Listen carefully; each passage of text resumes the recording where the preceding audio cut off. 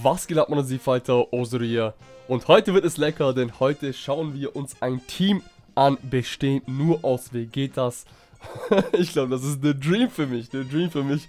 Und natürlich macht das unser Boy Margin Vegeta möglich, quasi. Denn wir sind in einem Agility-Team, haben Margin Vegeta als Leader, gibt jeden Unit 90%, also jeden Agility-Type-Unit, Key plus 93%. Da hier Margin Vegeta Extreme Agility ist und der Base Form Vegeta, äh, Vegeta Osaru Giant Ape ebenso Extreme Type ist, sage ich mich dem Majin Vegeta als Leader statt Super äh, Saiyan 4 Vegeta, denn er hat hier, gibt ja einen besseren Boost für die Super Agility Charaktere, aber darunter leiden dann die Extreme Agility Charaktere und ja, da wir jetzt Majin Vegeta haben, ja, Majin Vegeta ist sein eigener Leader, ja, Majin Vegeta ist der Leader und alle anderen Vegetas folgen ihm, deswegen würde ich sagen, wir verlieren keine weitere Zeit und testen das Vegeta-Team, let's go. Alles klar, und wir sind auf der letzten Boss Rush Stage. Ich weiß ob wir den ganzen Boss Rush machen werden. Ich glaube nur bis zu einem bestimmten Zeitpunkt, weil das sonst zu lange dauern könnte. Aber hinter diesem Team steckt auch ein bisschen ähm, eine Idee hinter. Nämlich, ich will auf jeden Fall den Super Saiyan 2 Vegeta mit Margin Vegeta in einer Rotation halten. Und den vierfachen Vegeta mit dem Vegeta Blue hier. Denn die Sache ist nämlich die, unser Boy Margin Vegeta, beziehungsweise der Super Saiyan 2 Vegeta, wenn wir uns das mal anschauen, gibt Margin Vegeta durch Shattering Limit Key plus 2 und Royal Lineage noch weiteren Key, Key plus 3. Und wir wissen ja, Margin Vegeta braucht an der Stelle seine Key auf jeden Fall. Äh, in dem Team ist sonst kein anderer Unit mit Over einer Flash, deswegen habe ich mir das so gedacht, dass wir die eine Rotation halten mit Super Saiyan 2 Vegeta und Margin Vegeta, die andere mit dem 4-Wachen und Vegeta Blue, denn diese beiden äh, Jungs hier geben sich zumindest prepared for battle, was die Key anbelangt. Und wow, okay, 9 Schaden nur genommen. Das ist cool, das ist auf jeden Fall sehr, sehr cool. Und Support-Charaktere haben wir zum Glück. Super Vegeta, er ist wirklich ein sehr guter Support-Charakter. Er ist ja auch ein Support-Unit. Gibt unter anderem Agility-Charakteren Key plus 2. Auf Angriff und Verteidigung 25%, wenn mich nicht alles täuscht. Wenn wir uns den Dude hier einmal ansehen. Ja, Agility steigt physisch, Key plus 2 Attack und der 25% richtig. Nice, nehmen wir auf jeden Fall mit. Und unseren Margin lassen wir hier. Bekommt Gott sei Dank durch den Super Vegeta hier natürlich sehr gut Key. Ähm, ich hätte auch den Super Vegeta hier drin lassen können in einer Rotation mit Margin Vegeta, so wie das jetzt der Fall ist. Damit auf seine Key kommt, Attack Boost etc. etc. Aber dann nehme ich auf jeden Fall meinen Super Saiyan 2 Vegeta in einer Rotation, denn er ist auf 100%. Und Super Vegeta eignet sich natürlich ganz, ganz gut als Rotationscharakter. Der andere Rotationscharakter wäre in dem Fall, in Anführungsstrichen, dieser Giant Ape Vegeta hier. Er ist zwar kein Supporter, aber er gibt Margin Vegeta, äh, Margin Vegeta sage ich, sorry, nur Margin Vegeta den Kopf, Super Saiyan 4 Vegeta gibt er Saiyan Raw. Saiyan Raw gibt nämlich ganze 25 weitere Prozent auf den Angriff, wenn wir uns das Ganze hier ansehen. Nope, das hat wir verbessert. Jetzt hier, Saiyan Raw haben wir Attack plus 25%, das nehmen wir auf jeden Fall mit. Und so gesehen ist dann quasi der Dude äh, vorerst mal nur da, um Vegeta diesen Linkskit zu liefern, unter anderem Super Saiyan 4 Vegeta. Und so habe ich mir das Ganze vorgestellt in diesem Team, in dem Setup, was hier abgeht. Ähm, wenn euch das Ganze auf jeden Fall auch gefallen hat, ja, Vegeta bombt hier seine zweite Ulti, Additional Ulti, dann lasst auf jeden Fall ein Like da und abonniert mich, wenn ihr neu auf dem Channel seid, würde mich auf jeden Fall freuen, jede Unterstützung an der Stelle. Ja, das Team, das Team, das Team läuft, das Team läuft, ja, das ist, ich habe quasi alle äh, Agility Vegetas genommen, in ein Team gepackt. Man könnte auch, also wirklich ein Vegeta-Team-Showcase machen mit allen Vegetas, die es gibt. Da gibt es ja äh, ein paar viele natürlich. Die Sache ist halt die, da müsste man, da hätte man einen richtigen Leader brauchen müssen und so spontan fällt mir kein Rainbow Vegeta Leader ein. Wisst ihr, was ich meine? Also, es gibt sicherlich ein oder zwei Vegetas, die ein, zwei Typen Boost geben, aber der ist halt nicht so atemberaubend, wie wenn wir quasi Majin Vegeta nehmen. Der gibt 90% für Agility Charaktere, Ki plus 3 und dann Agility Vegetas nehmen und wir sehen schon, es gibt wirklich sehr, sehr viele Agility Vegetas. Ähm, deswegen hat das da an der Stelle Gott sei Dank geklappt. Das freut mich auch. Und das Team funktioniert. Es ist geil. das ist halt literally, literally the dream. Ja, the dreams. The Dreams. Der kleine Osoro, als er damals Local Battle angefangen hat. Ja, okay, das hört sich an, als wären das vor 10 Jahren. der, der hat das Spiel angefangen und hatte einen äh, Traum im Kopf. Und das war ganz klar Vegeta-Team. Ja, Vegeta Only. Beziehungsweise dann, als Majin Vegeta gesehen habe, zum allerersten Mal war natürlich der Dream, Majin Vegeta zu holen. Ähm, und der vierfache Vegeta, dürfen wir auf jeden Fall nicht vergessen, gibt Margin Vegeta noch Sane Pride zusätzlich. Aber das sind weitere 15%. Wir sind dann hier, da müssen wir auf die Keys hoffen, aber Gott sei Dank hat das in der Rotation geklappt. Sehr cool. Ansonsten, wie sieht das Ganze hier aus? Wie sieht das Ganze hier aus? Wir haben Vegeta Blue, auch auf 100%. Äh, mein vierfacher Vegeta hat einen Tube offen, unten rechts. Ansonsten Super Saiyan 2 Vegeta, alle Dupes offen 100%. Super Vegeta hat auch alle Dupes offen, der ähm, Giant Ape Vegeta auch. Aber ich hatte keine Orbs investiert vorerst, weil ja, es, es sage ich mal, Charaktere sind, für die man äh, die Orbs unbedingt nicht ausgeben müsste, sie nicht unbedingt auf 100% äh, machen müsste. Aber ich sag's euch, ihr kennt euren Osoro, das sind Vegeta-Charaktere. da da habe ich natürlich im Hinterkopf, dass sie auch irgendwann mal auf 100% kommen. So, anyways, dann schauen wir uns mal das Setup hier an. Geben wir dann die ganzen Key unserem Boy. Super Saiyan 2 Vegeta. Super Saiyan 2 Vegeta, die Sache ist die, seine Passive ist, er bekommt 90% auf den Angriff und auf die Verteidigung, aber wenn die HP 80% oder drunter sind. Ich glaube, in der Runde war das der Fall, aber ja, hat sich like, schon geklärt. Majin Vegeta hat Goku hier schon ausgehauen. Was heißt Goku? Goku haben wir schon längst hinter uns gehauen. Vegeta. Wir kämpfen jetzt gegen Vegeta. Oh, jetzt wird interessant.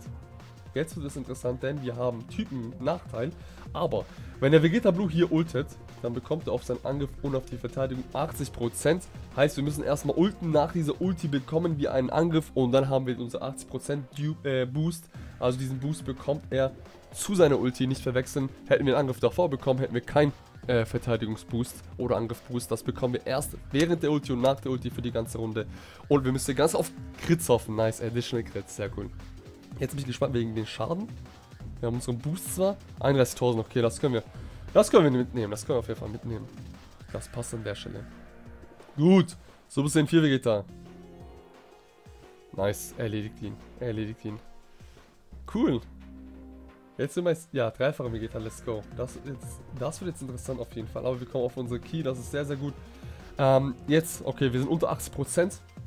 Und by the way, Leute, by the way, Lebensbalken, die ihr unten seht, die sind ja in 10 Abschnitten, ähm, abgeschnitten, kategorisiert. Das sind 10 Abschnitte. Jeder Abschnitt zählt für 10%. Also momentan haben wir 70%, weil 7 Balken gefüllt sind, 7 Abschnitte und, ja, oder anders gesehen, 3 Abschnitte eben nicht. Und das sind dann 70%. Merkt euch das, ja. So ein kleiner Tipp am Rande. So. Okay, okay, okay. Ja, der kann uns nichts haben. Let's go. Majin Vegeta 1,4. Final Impact. Zurück. Geil. Richtig geil. Richtig geil. Also. mich freut es wirklich, dass dieses Team funktioniert. Das ist so geil. Das ist wirklich geil. So, aber hier könnten wir vielleicht ein, das ein oder andere blaue Auge uns abholen. Müssen wir auf jeden Fall aufpassen. Denn eine vierfache Vegeta macht Schaden. Ähm, sollten wir uns ziehen? Ich denke ja. Denke, wir gehen mal auf Nummer sicher, nehmen Heal mit. Denn, jetzt hier zum Beispiel, Vegeta Blue hat noch nicht seinen Verteidigungsboost. Weil er noch nicht geultet hat, ja, ganz, ja, war klar, dass er eine Ulti bekommt. Heißt, wir bekommen hier vollen Schaden mit 0% Verteidigungsboost, quasi so gesehen. Gut, dass wir uns geht haben.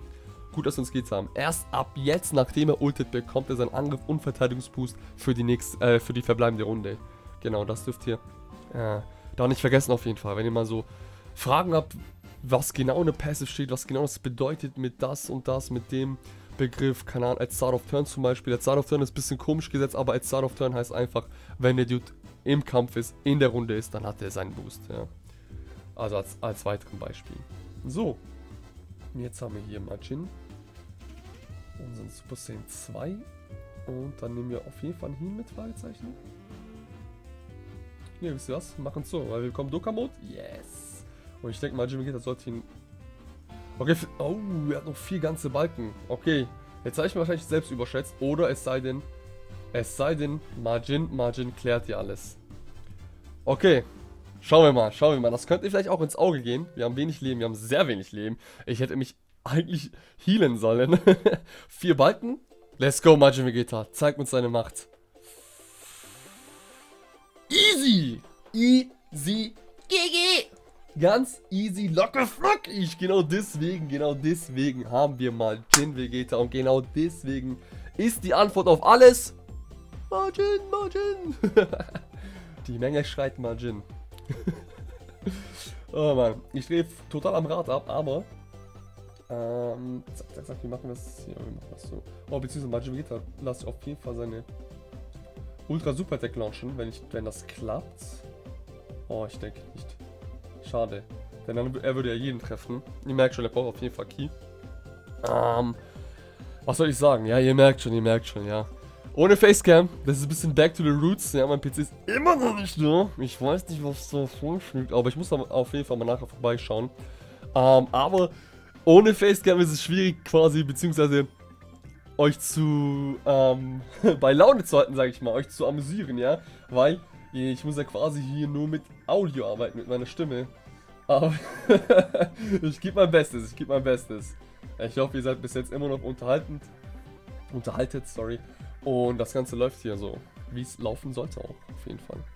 Genau, ich würde sagen, wir machen noch cooler. Wir machen auch das Event von cooler, damit das nicht allzu lange wird. Bomben cooler zur Seite, weil das ganze Boss Rush geht schon um die 15 bis 20 Minuten. Ich will euch da nicht zu lange spammen. Wir haben auf jeden Fall gesehen, was das Team in sich hat, was das Team drauf hat. Und das, was es drauf hat, ist wirklich geil. Ist wirklich geil auf jeden Fall. Das freut mich, dass das Setup funktioniert. Das ist... Ach, man. Oh, man, yeah. Da, da scheint mein Herz nur so. Ja. 42 Schaden, nichts GG, gar nichts. Einfach, einfach ein Team aus Vegeta ist Gegeta. Spaß. Okay, wir lassen mal die Flachwitze und Sprüche beiseite. Gucken, was Vegeta Blue hier macht. Ich fühle mich, by the way, hier wie ein Kommentator, wenn ich ehrlich bin, ja. Wenn die Kamera so quasi aus ist und ich das Ganze kommentieren muss, dann brette ich einfach alles raus. Ja, ja, ich hoffe, ich hoffe, es ist nicht nervig für euch. Ich hoffe, es kommt gut an beziehungsweise ihr könnt damit leben, aber Mardok, ich muss auf jeden Fall, ich brauche, I need my PC, man, I need mein PC. Wir kommen nicht drum weg. Anyways, das mal auch beiseite gelassen, das werde ich auch auf jeden Fall klären. Ultra Super Tech, Final Explosion, nice. Gut, vorletzte Runde gegen Cooler, let's go. Was machen die Jungs hier? Wir stellen das Ganze so auf natürlich, damit... Oh, damit der Vierfache... Jetzt die Frage, fallen da gut Kiro unter das Ulten kann? Yes damit der Vierfache noch Same Pride zusätzlich bekommt und das auf jeden Fall noch mitnimmt. Und ja, mein Giant Ape Vegeta ist auf SC1, aber ich werde auf jeden Fall auf ihn, äh, bei ihm arbeiten. Und wenn die Giant Ape Kategorie rauskommt mit Tapion, die Osaru Kategorie quasi, das wird geil. Darauf freue ich mich auf jeden Fall. Ich tue da auf jeden Fall schon die Charaktere quasi ein bisschen vorbereiten. Mein Tarz ist ja GG, ja, Giant Ape Tarz, SA10, alle Dupes offen. Schauen wir, was da abgeht. Ich freue mich auf jeden Fall. Ähm, zur Frage, wann Tapion kommt. Äh, könnte noch ein bisschen dauern. Ein oder zwei Monate könnte das noch dauern, auf jeden Fall. So. Weil jetzt haben wir quasi ähm, Bojack Part 2 Celebration, 1000 Tickets, 1000 Days, besser gesagt. Am Samstag kommt Extreme Zero von Broly. Das Ganze, der Part 2 sollte bis Ende April quasi gehen. Und dann ab Mai sollte, Ende April oder Anfang Mai sollte Super Saiyan 3 Bardo kommen. Er wäre eigentlich der nächste und danach dann Tapion etc. und dann Tech Vegito Blue Rosé und und und. Also ihr merkt schon, das kann noch ein bisschen dauern auf jeden Fall. So, die Frage ist jetzt, ähm, wie stellen wir uns auf? Ja, wir lassen das auf jeden Fall so. Ja, klar, Same Pride geben die Jungs sich. Äh, Margin und... Ja, wollen wir auf jeden Fall mal auf Nummer sicher gehen. Nicht, dass wir noch eine Niederlage bekommen am Ende. Ähm, Cooler haben wir auch noch auf jeden Fall raus. Und dann beenden wir das Ganze. Vegeta Team Showcase. Wenn ihr, wenn ihr andere Team Showcase im Kopf habt, irgendwas sehen wollt, dann lasst mich auf jeden Fall in den Kommentaren wissen. Ja, sei es irgendwas, es muss ja nicht irgendwas sein, was sich an die Leader-Skills hält im Spiel. Zum Beispiel, das ist ja jetzt kein Vegeta-Team-Leader, ja, sondern ich habe das jetzt quasi zusammengewürfelt, selbst zusammengewürfelt. Was mir so spontan noch einfallen, einfallen würde, wäre zum Beispiel Vegeta Family. Ja, gerade ein Team bestehend aus, Vegeta, aus der Vegeta-Familie. Ähm, das hätte ich auch so spontan im Kopf. So eine Goku-Familie, etc. etc. Ähm, Team nur aus so einem Gohan, sei es das und das oder aus, keine Ahnung. Also ich, ich denke, ihr wisst, was ich damit ausdrücken will. Wenn ihr quasi so, äh, so Ideen habt, lasst es mich gerne wissen auf jeden Fall. Ich sehe das gerne an immer, nehme auch so Ideen und Feedback immer gerne an. Und dann können wir da äh, auf jeden Fall gut gemeinsam kooperieren.